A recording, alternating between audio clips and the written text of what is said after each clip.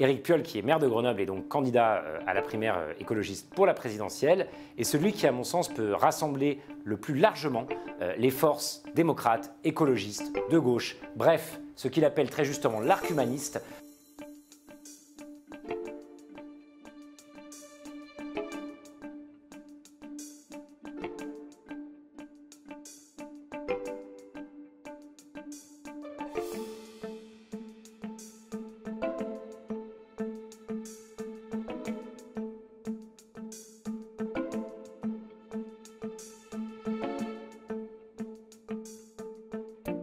Bonjour, je voulais vous expliquer pourquoi euh, j'avais décidé de m'engager dans la primaire écologiste qui se tiendra à partir du 16 septembre prochain, mais il faut s'inscrire avant le 12 pour pouvoir voter, et pourquoi j'avais fait le choix de soutenir Éric Piolle.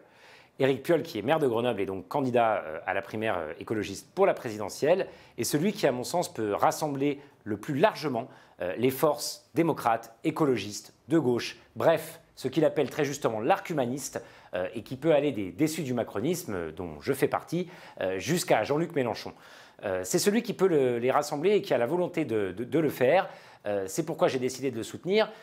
et aussi parce que sur un certain nombre de sujets importants, il me semble celui qui est le plus engagé. je pense bien sûr à des sujets qui me tiennent à cœur, comme la lutte contre les discriminations. Éric Piolle veut un plan ambitieux pour en finir avec les contrôles d'identité discriminatoires. Au Nouveau Démocrate, nous proposons de supprimer ces contrôles d'identité préventifs pour renforcer euh, le défenseur des droits euh, et pour faire en sorte qu'effectivement, dans notre pays, euh, cet enjeu des discriminations soit enfin pris à la hauteur